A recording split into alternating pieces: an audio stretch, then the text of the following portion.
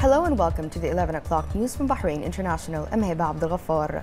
Bahrain Authority for Culture and Antiquities has officially ushered the 2018 edition of the Bahrain Summer Festival and BACA President Sheikha Maya bint Mohammed Al Khalifa opened Nakhul tent. More in this report with Yasmin Ibrahim.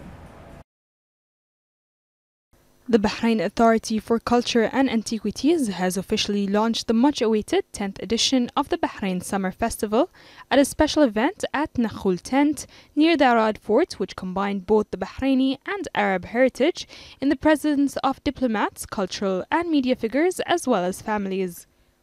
Today is the opening of the Bahrain Summer Festival. This festival has been with us for the past 10 years. It's an exciting time for families and children to come and to be entertained throughout the summer months. Of course, this year we're in Arad. We are celebrating Muharraq as capital of Islamic culture. And under that umbrella, we have created this wonderful space that hosted so many of our events. Of course, this year the Bahrain Summer Festival will be hosting uh, activities for all ages of children. It's a great place for families to come and to enjoy.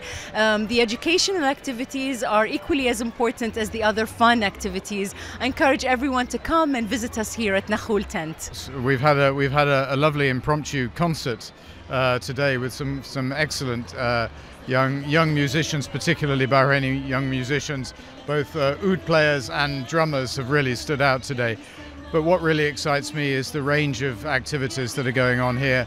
I would say it's even even more vibrant than last year, uh, and there's so much for, uh, for for the children to do, uh, and for parents to know that, that the, the, the range of activities changes right through the summer. So it's worth coming back again and again.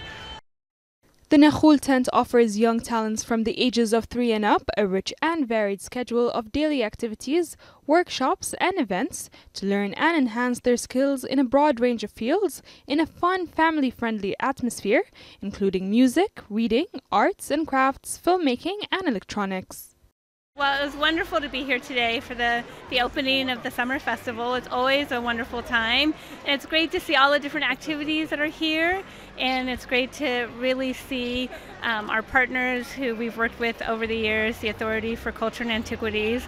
Um, they put on a great festival, and this year is no exception. Um, during the summer, a lot of kids don't have anything to do and they find themselves um, troubled with the fact that they don't have work anymore or they, they don't see their friends anymore. So, this festival allows both kids and adults to enjoy their summer and enjoy their free time in a way that's both um, healthy and educational for both the parents and the children. The two month long festival, organized by the Bahrain Authority for Culture and Antiquities, comes in line with the authority's dedication to celebrate Muharraq, capital of Islamic culture, and highlights the island's position as a preferred regional cultural tourism destination. Reporting for Bahrain International, I'm Yasmin Ibrahim.